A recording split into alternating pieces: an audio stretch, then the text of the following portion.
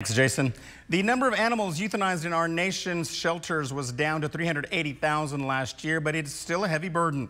Best Friends Animal Society in Odessa helped push a movement to save them.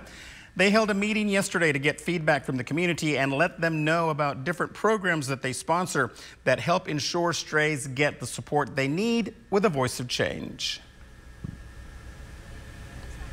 Society kind of works on depending on the community. For Odessa specifically, we want to first focus on TNVR program for the community cats. So that's trap, um, neuter, vaccinate, and release. So that's going to really help the adoption numbers and the release rates for the cats here in Odessa. So we're kind of step like one step at a time. We've also offered financial support and then staffing support as well. The group wants to not only educate the public about adequate pet owner care, but encourage others to volunteer in the area. You can learn more about Best Friends Animal Society by visiting their website.